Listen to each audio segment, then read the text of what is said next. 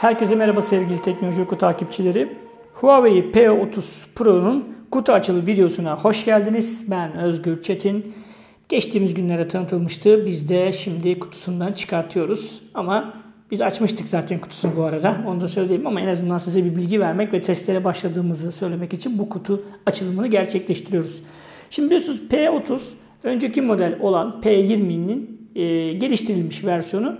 Bana soracak olursanız da Huawei Mate 20 Pro'nun genel görünümü bu telefona gelmiş. Sonsuz ekran dediğimiz şu kenarlara doğru açılan ekran teknolojisi var. Şimdi şöyle paketimizi bir açalım.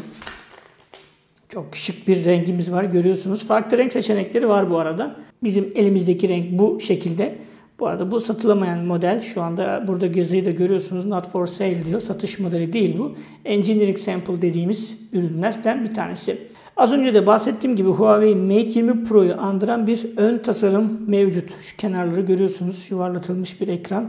Çok şık bu arada. Yine benzer şekilde şurada şu kısımda görüyorsunuz. Güçlü şu kırmızı bir şekilde tasarlanmış ama bu sefer ortası kırmızı. Kenarlarında da normal telefonun kendi rengi var. Açalım bakalım. Telefon bize açılacak mı bilmiyorum ama evet açılıyor şu anda. Bir yandan da teknik özelliklerinden bahsedeyim. Ben 6.47 inçlik Full HD Plus 2340'a 1080 piksel çözünürlük var. Kıvrımlı OLED bir ekranımız var. Şöyle işte söylemiştim zaten. Evet şu an sesi duydunuz. Açıldı. Telefonumuz gerçekten çok şık. Bu arada Huawei Mate 20'den farklı olarak şöyle yakına getireyim birazcık. Netliği de yapalım ön tarafa doğru. Görüyorsunuz ekranda damla çentiğimiz mevcut. Telefonun diğer özelliklerinden bahsedeyim. 19'a 9 ekran oranımız var. Kirin 980 işlemci kullanıyor. Mali G76 MP10 GPU'muz mevcut. 6 ya da 8 GB RAM seçenekleri 128, 256 ve 512 GB'lık depolama seçeneklerinin olduğunu da söyleyelim. Şu an telefonu ekranda görüyorsunuz. Şimdi Telefonda yine e, Huawei Mate 20 Pro'da olduğu gibi bir parmak izi okuma özelliği var. Yine ekrandan şu kısımda bir yerde e, ortaya çıkıyor. Şu an ayarlamadığımız için göremiyorsunuz ama yine parmak izi okuyucu olduğunu söyleyelim. Damla çentik çok şık olmuş bu arada. Daha az yer kaplıyor. Biliyorsunuz Mate 20'de bayağı neredeyse 3'te 2'sini kaplayan bir çentik kısmı vardı. Burada o kadar büyük değil. Bu bayağı küçültülmüş onu söyleyelim. Şöyle arka tarafa geçeyim. Asıl sürprizler burada aslında. Şöyle Biraz daha yakından çekim yapmaya çalışayım. Evet. Şu anda burada 4 tane kamera görülüyor. Bakın. Şöyle 1, 2, 3 bir de şurada 4. kameramız var. Kameralara geçecek olursak 20, 40 ve 8 megapiksel olmak üzere 3 tane kameramız mevcut arkadaşlar. 40 megapiksellik kameramız ana kamera iken 20 megapiksellik kamera ise geniş açı e, özelliğine sahip oluyor. Üçüncü kameramız ise şurada aslında görüyorsunuz bakın. Şöyle netliği de yapalım bu tarafa tekrar. Şurada böyle bir dikdörtgen şeklinde bir alan var. Burada periskop bir e, periskop şeklinde bir kamera gizlenmiş. Şöyle içeri doğru gidiyor aslında. Burada tabi göremiyorsunuz şu anda ama yatay bir düzlemde e, tasarlanmış. Burada 5x optik zoom var. Yani burada epey bir malzeme var. Şu an görülmüyor. Şu üçüncü kamera, dördüncü kameramız ise TOF dediğimiz Time of Flight hem derinlik hem de augmented reality çalışmalarında kullanılan özel bir kamera olduğunu söyleyelim. Bunun üstünde de dual flash led flash'ımız da mevcut. Alt kısma geçelim isterseniz. Şöyle bir biraz daha netliğimizi yapalım. Şu an alt kısımda USB Type-C görüyorsunuz. Hemen onun yanında hoparlör yuvamız var. Onun altında da sim kart yuvamızı ve bellek kartı yuvamızı görüyorsunuz. Üst tarafta bir şey yok. Yani var ama e, bir yuva yok burada. Şu anda gördüğünüz gibi üst tarafımız bu şekilde.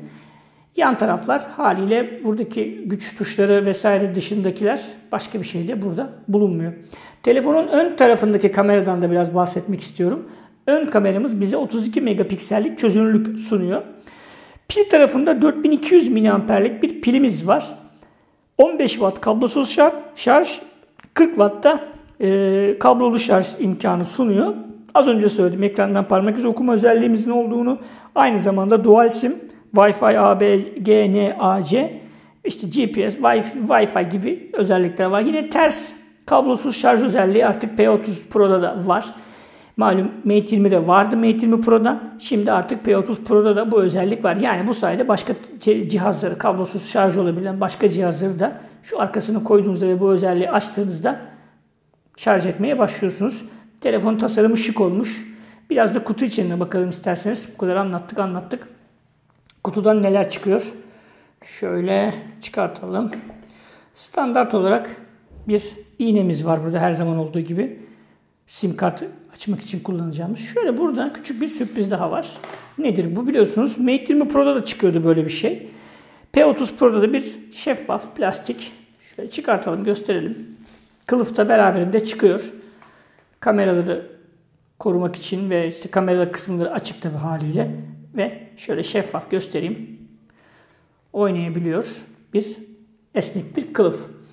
Şarj cihazımız var kutumuzdan çıkan. Bu aslında Mate 20 Pro'ya fazlasıyla benziyor. Hatta P20 Pro'daki e, şarj cihazına da benziyor. Biraz böyle iri yarı tombul ama bu 40 watt hızlı şarj olduğu için bu şekilde olması gayet normal.